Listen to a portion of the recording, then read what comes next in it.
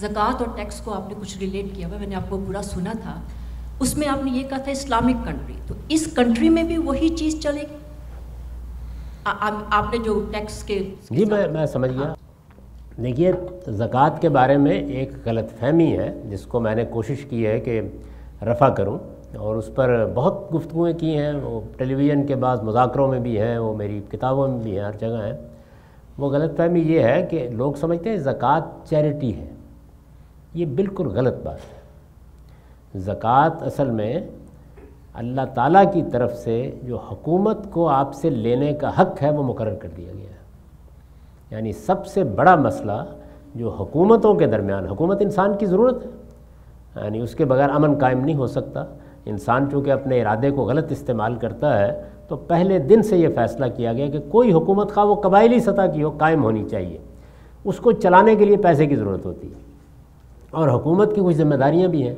तो इसमें यह सवाल पैदा होता है कि फिर हुकूमत क्या कंट्रीब्यूशन पर इसार करेगी? यानी आप चाहें तो आज चेक लिखें और चाहें तो ना लिखें। क्या ऐसे चल सकती है? तो लोगों ने कहा कि नहीं, बादशाहों को इख्तियार है कि वो ज़बरदस्ती आपसे ले लें।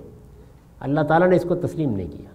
और ये कहा है कि किसी की जान, माल और इज़्ज़त के ख़िलाफ़ ज़बरदस्ती को इकदाम करने का हक किसी को भी नहीं लेकिन फिर कैसे चले? तो अल्लाह ताला ने फ़ैसला किया कि मैं मुकर कर देता हूँ।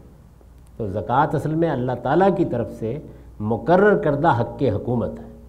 यही वजह है कि जब मुसलमानों को हुकूमत हासिल हुई तो आपके इलम में है कि रिसालत माब वसल्लम के ज़माने में जो शराइत बयान की गई, वो सूरह तौबा में है। उसमें ये बता दिया गया था कि हर वो शख्स जो इसका शहरी बनेगा, उसको ज़क़़त देना होगी। और किसको देना होगी? हुकूमत को देना होगी।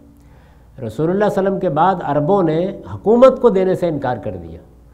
तो हज़रत अबू बकर सिद्दीक ने उसको हकूमत के ख़िलाफ़ जंग से ताबीर किया और कार्रवाई करने का फ़ैसला कर लिया और ये कहा कि मैं अगर एक रस्सी भी ऊँट की इससे पहले दी जाती रहे थी और अब लोग नहीं देंगे तो मैं वो लूँगा उनसे। इसलिए कि उसके बगैर हुकूमत नहीं चल सकती। तो ये हुकूमती का हक़ है। लेकिन अल्लाह ने एक दूसरा काम ये किया कि हुकूमत के इस हक़ को अपनी इबादत बना दिया। और इसमें जो रूह पैदा कर दी वो क्या है कि गोया मैं अपने माल की ज़क़़त निकाल के अल्लाह की नज़र कर देता हूँ और फिर अल्लाह के हाथ से उठाकर हुकूमत को दे देता हूँ। तो ये जो रूह उसमें पैदा की गई, उसके साथ ही ये भी ज़रूरी करार दे दिया गया कि अगर हुकूमत ना ले, तब भी तुम्हें माशरे की ज़रूरतों के लिए इसको दे देना चाहिए। ये यूँ है। आप मेरी किताब मीज़ान में देखिए जो पूरे इस्लाम को बयान करती है। तो मैंने उसमें ज़क़़त को मीशत और सियासत के बाद में नहीं बयान किया, इबादत के बाद में बयान किया। ये असल में इबादत है, लेकिन इस इबादत को जिस तरह जुमे की नमाज़ को रियासत से रिलेट कर दिया गया है, इसी तरह इस इबादत को रियासत से मुतल कर दिया गया है। तो अब कानून क्या हुआ? कानून ये हुआ कि आपको हर हाल में ज़क़़त निकालनी है, उस शरा के मुताबिक निकालनी है जो अल्लाह ने मुकर की है।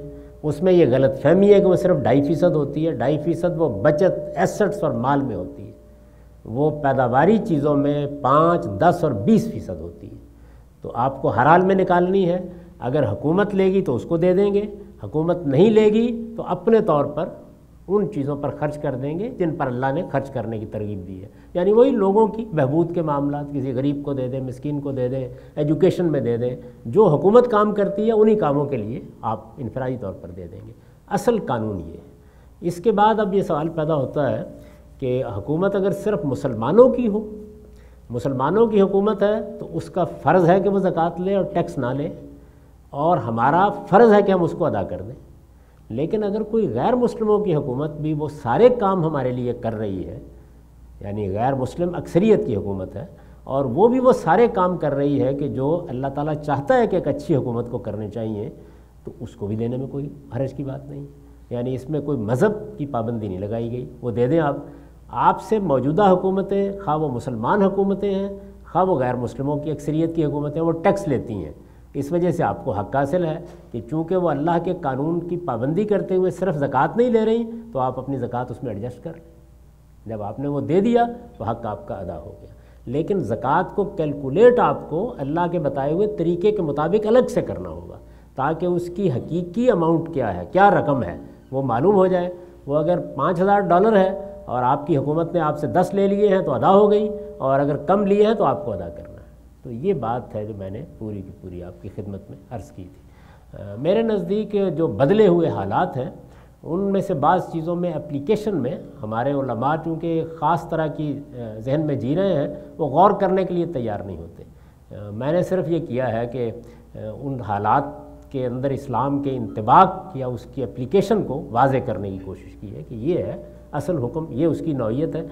ये असल हुक्म भी बताने की हमारा आलिम पोजीशन में नहीं रहा।